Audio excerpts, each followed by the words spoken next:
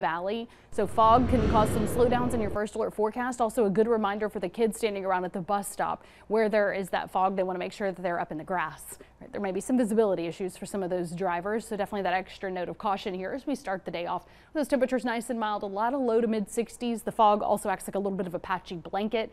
Temperatures don't budge much as we sit here and just keep pumping out this fog for the first few hours of the day, really. It takes a couple of hours of the sun coming up to start to burn off that fog to actually evaporate that moisture in the air. So that's where we'll see more of an improvement between 9, 10 to 11 a.m. and then lots of sunshine midday. The first couple of specks of rain trying to pop up here mainly in the mountains around 1 to 2. Notice a little stray pop up trying to develop along the plateau as well.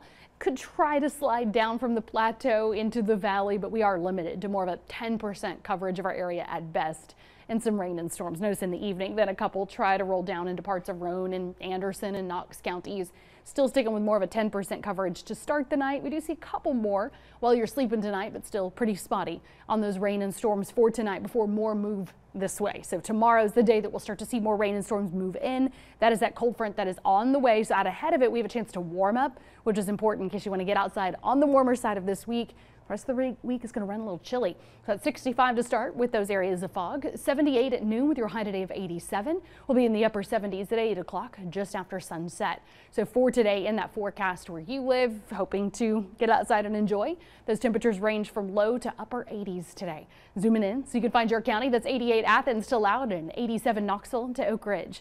You're looking at a forecast high today of 85 Rockwood, 81 Jamestown, 82 in Oneida.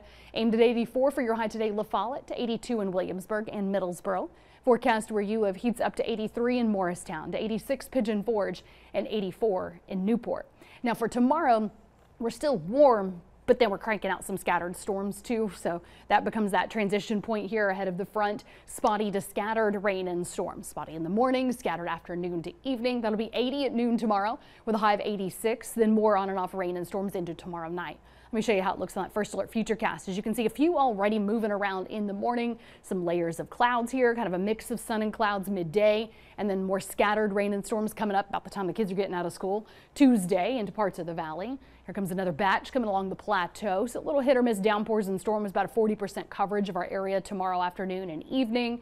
That slides on through early tomorrow night. That'll slide it down to more of a spotty coverage by Wednesday. But that'll also be when those temperatures start to take a hit. So we're starting to collect more of that scattered coverage in some rain and storms with some of those downpours here adding up to about a half an inch in parts of our area. But then it adds up to only a couple more showers and storms on Wednesday afternoon. You can see that passage here as the winds shift.